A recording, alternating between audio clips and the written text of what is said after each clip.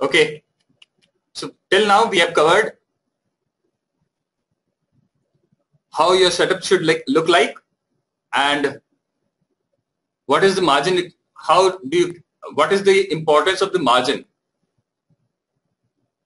I hope everyone had been, everyone would, was able to understand it. So now we will be discussing option calculator.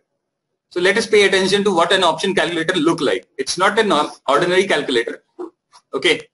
Uh,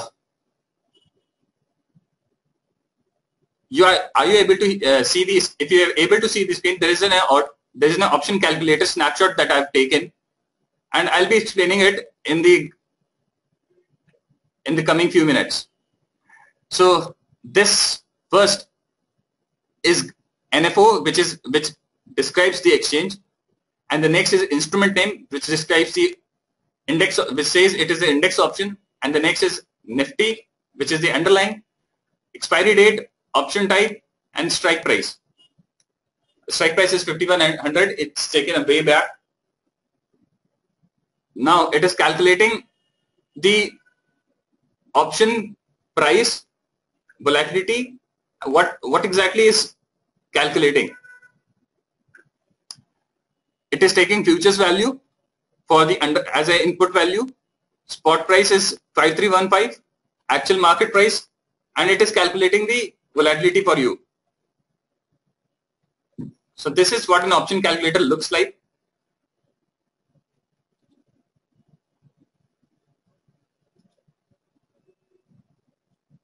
Okay. So we will see we now we will go to the option calculator right now. We'll see how to calculate the option uh, option prices. So we check what is the Google option calculator and let's open one of the websites option calculator. So it says the underlying parameters are underlying price, exercise price, days till expiration, interest rate, dividend yield, volatility, rounding, graph increment. So let's see what is it. We know right now the our Nifty is around 8200. Let's take the price of 8200 call. Days until expiration. Let's take it 30 days. Interest rate is 8%. We are not taking dividend yield as of now. And volatility right now is 20%. So this will calculate the option prices for you. The theoretical option price should be 215 and 161. This is the option calculator for you. You can do it the other way around also. You can put in the price, option price, and you can get the what is the volatility for in this. This tool helps you to find what is the volatility running and what are the various Greeks in the option prices.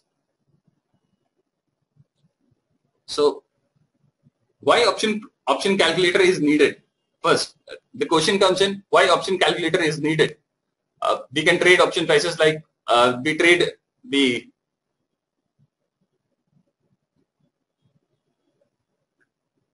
uh, uh, trade the underlying underlying like if you're trading Reliance futures you can trade Reliance options also in the same manner. But it is not like that. Option prices are made of time value and intrinsic value. So how time value in that is calculated, it will be reflected in the option calculator. So understanding about volatility, understanding about your time value comes only through option calculator.